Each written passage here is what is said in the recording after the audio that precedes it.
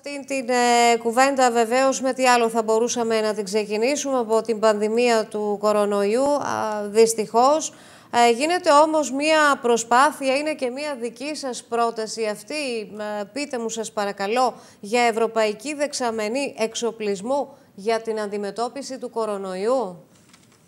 Ακούστε, εγώ ήμουν σκιώδη ηγητή στην ίδρυση ναι. της Ευρωπαϊκής Πολιτικής Προστασίας του ΡΕΣΚΙΓΙΟΥ και τώρα είμαι τη δεύτερη μου θητεία ω ηγητή όλου ναι. του Ευρωπαϊκού Κοινοβουλίου για να έχουμε το νέο νομοθετικό πλαίσιο. Ναι. Αυτό που έχουμε καταφέρει και είναι ανακοινώσιμο είναι ότι στις έξι πρώτες χώρες που θα γίνουν αποθήκες ιατροφαρμακευτικού υλικού 100% πληρωμένο από την Ευρωπαϊκή Ένωση είναι ναι. και η Ελλάδα. Θα περιλαμβάνονται μάσκες, αναπνευστήρες και ιατρικές στολές. Όποιο κράτος μέλος κοντινό μας ή εμείς οι ίδιοι έχουμε κάποιο κενό στο υλικό αυτό, μπορούμε να ε, κάνουμε μια αίτηση στον Ευρωπαϊκό Μηχανισμό και να το παίρνουμε εντελώς δωρεάν για να καλύπτουμε τις ανάγκες μας. Εμείς ή κάποια άλλη κοντινή χώρα στα αυτά τα έξι πρώτα ε, κράτη-μέλη. Κύριε Ανδρουλάκη, όμως τα κρούσματα ευτυχώς ε, στην Ελλάδα, σε σχέση βεβαίως με όλα τα υπόλοιπα στην Ευρωπαϊκή Ένωση, βρίσκονται σε ένα ελεγχόμενο, θα λέγαμε, σημείο. Οπότε το ότι κατακτήσαμε αυτή την ε, αποθήκη, πού οφείλεται; Ακούστε, αυτό έγινε διότι η χώρα μας το ζήτησε. Εμείς έχουμε την πρόνοια ναι. για όλα τα κράτη-μέλη. Η Ελλάδα και έξι ακόμη κράτη ζήτησαν να αποκτήσουν αυτό το στρατηγικό απόθεμα, όπως το λέμε, στα, στη δικιά μας ε, χώρα. Αυτό είναι καλό διότι εμείς αν το ε, κάνουμε αίτηση, δηλαδή αν έχουμε κάποιο κενό, πρέπει να κάνουμε απευθεία αίτηση και να το πάρουμε χωρίς να μας αποσταλεί από μια άλλη χώρα της Ευρωπαϊκής Ένωσης. Ακούστε, επειδή όμω είπατε ότι πάμε καλά, ναι. αυτό είναι σχετικό. Διότι αν δείτε τη γεωγραφική κατανομή των κρουσμάτων, ουσιαστικά η Αθήνα δεν πάει καθόλου καλά, ναι. η υπόλοιπη η Ελλάδα πάει καλύτερα. Γι' αυτό λοιπόν θέλει πολύ μεγάλη προσοχή, διότι στα αστικά κέντρα πολύ υψηλής συγκέντρωσης πληθυσμού είναι και ο υψηλός δείκτης μεταδοτικότητας, όπως είδαμε και σε άλλα κράτη-μέλη της mm -hmm. Ευρωπαϊκής Ένωσης στο πρώτο κύμα. Και αυτό πρέπει, επειδή δεν ξέρουμε πότε θα έχουμε το εμβόλιο στα χέρια μας, ευχόμαστε όλοι το γρηγορότερο δυνατό, δεν φαίνεται όμως κάτι να είναι κάτι άμεσο πρέπει να ακολουθούμε τις νόμες των ειδικών, διότι είδαμε τι τραγικές στιγμές έζησαν Ιταλία, Βέλγιο, Γαλλία. Το Βέλγιο ανακατοίκους έχει τους περισσότερους νεκρούς στον κόσμο, 10.000 περίπου νεκρούς από κορονοϊό. Αν δεν, λοιπόν, δεν θέλουμε λοιπόν να τα ζήσουμε αυτά, πρέπει να διαφυλάξουμε ο καθένας τον εαυτό του, την οικογένειά του, για να αντιμετωπίσουμε και αυτό το δεύτερο κύμα με μια, με μια σχετική επιτυχία. Ναι. Τώρα να σας πάω σε ένα άλλο θέμα, σε ένα άλλο μέτωπο που φαίνεται να ανοίγει κύριε Ανδρουλάκη, δυστυχώς.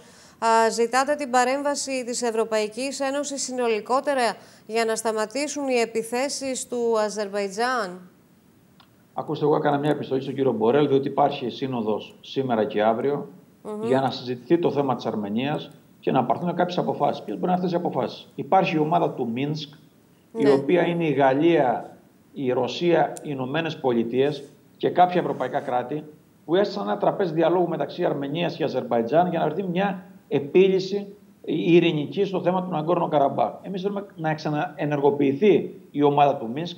Τα δύο αυτά κράτη είναι κράτη μέλη του Συμβουλίου της Ευρώπης και πρέπει το θέμα αυτό να λυθεί βάσει των αξιών και των αρχών του Συμβουλίου της Ευρώπης. Δηλαδή, η ναι. επίθεση που κάνει με το Αζερβαϊτζάν είναι μια παράνομη επίθεση, πρέπει να την καταδικάσουμε και πρέπει να βρούμε έναν τρόπο αποκλιμάκωσης. Όμως, αυτό που έχει ιδιαίτερο ενδιαφέρον mm -hmm. είναι ότι για άλλη μια, μια ακόμη φορά βλέπουμε ότι πίσω από ένα μεγάλο γεωπολιτικό πρόβλημα ναι. να εμφανίζεται η Τουρκία. Και πάλι. Αυτός, ναι. αυτό σημαίνει ότι αν δούμε σε ποια κράτη συνορεύει, αν εξαιρέσει τη Γεωργία και τη Βουλγαρία, με όλους έχει δημιουργήσει αντιπαραθέσεις. Όπου υπάρχει mm -hmm. ένα πρόβλημα, είναι ο κ. Ερντογάν. Mm -hmm. αυτό δεν πάει να συνεχίζεται. Δεν μπορεί η Ευρώπη να ε, ουσιαστικά να στρουθοκαμιλίζει απέναντι στις πολιτικές ναι. επιλογές του Ερντογάν που παράγουν αστάθεια στην ευρύτερη περιοχή. Γι' αυτό μιλώ για ακυρώσει και αυτό έχω πάρει συγκεκριμένες πρωτοβουλίες. Πρώτον. Ναι, και ζητάτε και διακοπή παροχής κονδυλίων προς την Τουρκία, κυρία Ανδρουλάκη. Σωστά; Η πρώτη κίνηση που έκανα πριν 15 μέρες είναι να ψηφιστεί στην, ε, στον, στην, ε, στον κατάλογο των χωρών που εξάγουν όπλα ευρωπαϊκές χώρες εμπάργο προς την Τουρκία. Πήραμε μια μεγάλη πλειοψηφία 524 βουλευτών υπέρ. Και ναι. το δεύτερο είναι στα προενταξιακά κονδύλια που παίρνει 150 εκατομμύρια η Τουρκία το χρόνο να υπάρχουν περικοπές, να μην πηγαίνει ούτε ευρώ στο τουρκικό κράτος, όσα πηγαίνουν να πηγαίνουν μόνο σε οργανώσεις που υπερασπίζονται ανθρώπινα δικαιώματα και κράτος δικαίου στο εσωτερικό της Τουρκίας. Για να στηρίξουμε και κάποιους από τους ανθρώπους που θέλουν μια άλλη πολιτική της Τουρκίας. Λοιπόν, αυτές ναι. οι πρωτοβουλίες μου και εκτιμώ ότι επειδή έχουν αγκαλιαστεί από τους συναδέλφους του Ευρωπαϊκού Κοινοβούλιο, πρέπει να προωθηθούν και σε επίπεδο Συμβουλίου. Θα μου πείτε, είναι εφικτό; Ναι, είναι εφικτό. Διότι πέρυσι τον Οκτώβριο, στα συμπεράσματα του Συμβουλίου, όταν έκανε παράνομη εισβολή Τουρκία στη Συρία, μπήκε η προτροπή για εμπάργκο όπλων προς την Τουρκία ναι. ε, από τα ευρωπαϊκά κράτη. Άρα υπάρχει διπλωματικό περιθώριο να το πετύχουμε και τώρα. Μάλιστα. Α, τώρα έτσι με τις επικείμενες συζητήσεις με αυτό τον περίφημο διάλογο μεταξύ Ελλάδος και Τουρκίας, ε, κύριε Ανδρουλάκη, πώς βλέπετε να εξελίσσεται η κατάσταση, θα γίνει αυτός ο διάλογος; Ακούστε, εμείς πρέπει να είμαστε θετικοί στο διάλογο, αλλά βάσει ενός πλαισίου. Ποιο είναι το πλαίσιο, Σεβασμό στο διεθνές δίκαιο και δεύτερο, για το ένα θέμα που θεωρούμε ότι πρέπει να επιληθεί βάσει του διεθνούς δικαίου, που είναι ναι. ο, η χάραξη θαλασσίων ζωνών. Δεν μπορεί να τα βρούμε με διμέρη τρόπο. Α πάμε στο δικαστήριο της Χάγης. Τώρα αυτό γιατί. Η Τουρκία ανοίγει ναι, διάφορα... αλλά η Τουρκία το αποφεύγει αυτό. Τώρα να σου πω, η Τουρκία βάζει διάφορα θέματα. Mm. Βάζει αποστρατικοποίηση νησιών. Αυτό είναι μια απλή απάντηση. Τι ζητάει; Να είναι αποστρατικοποιημένα τα νησιά που απειλεί με κάζους μπέλη. Αυτά δεν γίνονται. Mm. Δηλαδή, απειλεί πόλεμο από το 1995, αλλά να μην έχετε στρατό στα νησιά. Αυτά είναι παραλογισμοί. Δεν μπορεί να αποδεχτεί. Δεύτερον, mm βάζει θέματα που αφισβητούν συνθήκες, όπως η δίκη ε, την, ε, της Λοζάνης. Της Λοζάνης, βεβαίως. Λοιπόν, είναι δυνατόν τώρα η Ευρωπαϊκή Ένωση να ανοίξει τέτοια θέματα που θα δημιουργήσουν ε, μια νέα πραγματικότητα στην περιοχή. Αυτά δεν πρόκειται να γίνουν. Γι' αυτό λοιπόν να συζητάμε βάσει αυτού του ενός θέματος και βάσει του διεθνούς δικαίου. Τώρα, ναι. θα πείτε, βλέπετε προοπτικές συζητήσεις; Όχι, δεν βλέπω. Δεν είμαι αισιόδοξος. Εμείς πρέπει να έχουμε μια στρατηγική ακόμη και να αποτύχουν οι συζητήσεις, το Μουτζούρι να το φορτωθεί η Τουρκία. Για να έχουμε τη διεθνή κοινή γνώμη και τη στήριξη με το μέρος μας. Διότι η ναι. Τουρκία στη σημερινή φάση δεν είναι μόνο ο Ερντογάν και η αξιωματική του αντιπολίτευση και μικρότερα κόμματα όπως ο Σαξενέρ, η Γκρίζη Λίκη έχουν πάει σε ένα εθνικιστικό παροξισμό. Ποιος θα πει τη μεγαλύτερη επιθετική ατάκα απέναντι στην Ελλάδα, την Κύπρο και στο σύνολο της Ευρώπης. Λοιπόν, σε αυτό ναι. το περιβάλλον δεν βλέπω εγώ να έχουν αποτέλεσμα οι διμερέ συζητήσεις. Δεν μπορούμε να τι αρνηθούμε, αλλά ας είμαστε ειλικρινείς. Για μένα πρέπει να πάμε στην πολιτική καρότο και μαστίγιο. Τι ναι. σημαίνει αυτό; Καρότο σημαίνει αναβάθμιση της Τελωνιακής Ένωσης με την Τουρκία και νέα συμφωνία με το προσφυγικό. Και μαστίγιο αυτοματοποιημένες κυρώσεις όταν το τουρκικό πολιτικό σύστημα καταπατά κυριαρχικά δικαιώματα γειτονικών χωρών ή mm-hmm. παραβιάζει ανθρώπινα δικαιώματα στο εσωτερικό. Για μένα αυτό πρέπει να είναι το πακέτο της νέας ειδικής σχέσης Ευρωπαϊκής Ένωση Τουρκία και να αφήσουμε τα παραμύθια που κάποιοι συνεχίζουν και στην Ευρώπη και κυρίως και στην Ελλάδα που λένε περί ευρωπαϊκής προοπτικής της Τουρκίας. Δεν υπάρχει καμία, καμία. ευρωπαϊκή προοπτική της σημερινής Τουρκίας. Έχει κλείσει αυτό, λέτε. Τώρα, στην Ελλάδα, για την Ελλάδα, ποιοι είναι οι σύμμαχοι ή ουσιαστικοί της χώρας μας, ε, κύριε Ανδρουλάκη; Ώστε εγώ βλέπω ανοιχτά αυτιά στο σύνολο της Ευρωπαϊκής Ένωσης. Υπάρχουν πολλοί λίγοι πια που ναι. δίνουν, όχι που στηρίζουν, που δίνουν άλλα στον Ερντογάν ή που έχουν μια χαλαρή, χαλαρή στάση απέναντί του και αυτοί βέβαια τα ελαττήριά τους είναι ταπεινά, που είναι οικονομικά συμφέροντα ε, του τραπεζικού εσωτερικού συστήματος της Τουρκίας. Αναφέρεστε πού, στη Γερμανία, πού αναφέρεστε; Θα σας πω. Οι Ισπανοί είναι ανοιχτοί στο τραπεζικό σύστημα της Τουρκίας ναι. με ένα ποσό γύρω στα 40 δισεκατομμύρια. Ο Ολλανδοί και οι Γερμανοί έχουν ένα μεγάλο ποστό άμεσων ξένων επενδύσεων, οπότε δυσχεραίνονται οι ενέργειές τους. Όμως, για να είμαι ειλικρινής, ναι.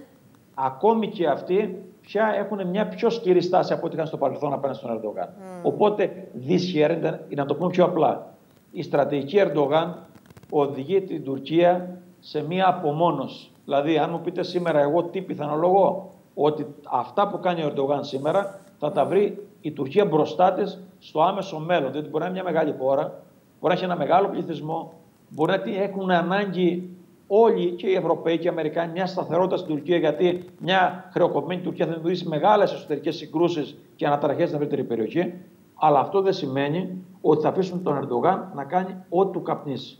Γι' αυτό πιστεύω ότι ναι. υπάρχει περιθώριο στην ελληνική διπλωματία να πετύχει να υπάρχει ένας συγχρονισμός των συμφερόντων μας με αυτά που συμφέρουν και άλλα κράτη της Ευρωπαϊκής Ένωσης και άλλες χώρες ισχυρές της περιοχής. Τώρα, η επίσκεψη Πομπέου στην Ελλάδα πώς μεταφράζεται; Είδαμε ότι από την πλευρά της Τουρκίας προκάλεσε, θα έλεγα, έντονη δυσαρέσκεια αυτή η επίσκεψη. Ας πω, υπάρχει ένα πρακτικό ζήτημα που είναι η αναβάθμιση της Σούδας. Αυτό συμφέρει και εμάς, συμφέρει και τους Αμερικάνους, σε έναν βαθμό δεν συμφέρει τους Τούρκους. Άρα ναι. καταλαβαίνετε ότι θα υπήρχε μια τέτοια ρητορία από πλευράς της Τουρκίας. Όμως ας είμαστε ειλικρινείς, γιατί αυτό Πομπέο προεκλογικά. Διότι ο Τραμπ έχει ανάγκη τι ψήφους της ελληνικής ομογένειας. Ναι. Εγώ αυτό λοιπόν που έχω να πω στου Έλληνες ομογένειες είναι ναι, θέλουμε να έχουμε στήριξη, αλλά καλό θα ήταν να μην ξαναψηφίσουν Τραμπ. Διότι ο Τραμπ απέδειξε αυτή την τετραετία που κυβερνά τις ΗΠΑ ναι. ότι σε θέματα στρατηγικά δεν στήριξε στεναρά τα ελληνικά συμφέροντα και σε θέματα γεωπολιτικά που αφορούν όχι μόνο την Ελλάδα και όλη την ανθρωπότητα, όπως είναι τα θέματα κλιματικής αλλαγής, mm-hmm. οι επιλογές του ήταν κατάφορα απέναντι στο συμφέρον της ανθρωπότητας. Γι' αυτό λοιπόν η άποψή μου είναι καλό θα είναι η ελληνική ομογένεια να μην κάνει το λάθος που έκανε το 2016 ναι. και να ψηφίσει τώρα τον κύριο Biden για να έχουμε μια καλύτερη, αν θέλετε, ε, στήριξη από την άλλη πλευρά του Ατλαντικού. Μάλιστα. Τελευταία ερώτηση, κυρία Ανδρουλάκη, με αφορμή βεβαίως την ε, Σύνοδο Κορυφής, όπου η Κύπρος δηλώνει ότι είναι αποφασισμένη να ασκήσει βέτο στην περίπτωση που δεν επιβληθούν κυρώσεις στην ε, Τουρκία.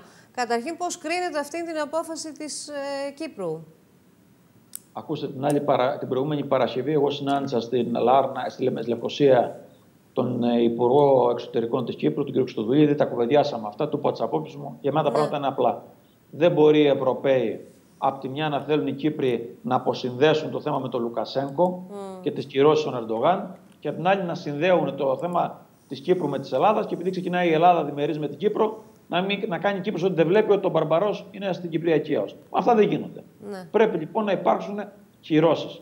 Και αν δεν υπάρχουν στην έκτακτη σύνοδο σήμερα και αύριο, τουλάχιστον μετά από μερικές εβδομάδες στην τακτική να υπάρξουν, διότι ουσιαστικά έφυγε το Ρουκ από, ναι. από το Καστελόριζο, αλλά το Μπαρμπαρός παραμένει στην Κυπριακή ΑΟΣ και δεν μπορούμε να εθελοτυφλούμε. Μάλιστα. Κύριε Ανδρουλάκη, σας ευχαριστώ θερμά για τη σύνδεση αυτή. Να είστε καλά. καλά. Καλό υπόλοιπο. Λοιπόν, κυρίες και κύριοι, εμείς θα περάσουμε σε σύντομο διαφημιστικό διάλειμμα και θα επιστρέψουμε αμέσως μετά να μείνουμε στην ε, κατάσταση Αρμενία-Αζερβαϊτζάν και να μιλήσουμε βεβαίως και με ανθρώπους από την αρμενική κοινότητα να μας πούν πώς το βιώνουν όλο αυτό. Μένετε μαζί μας.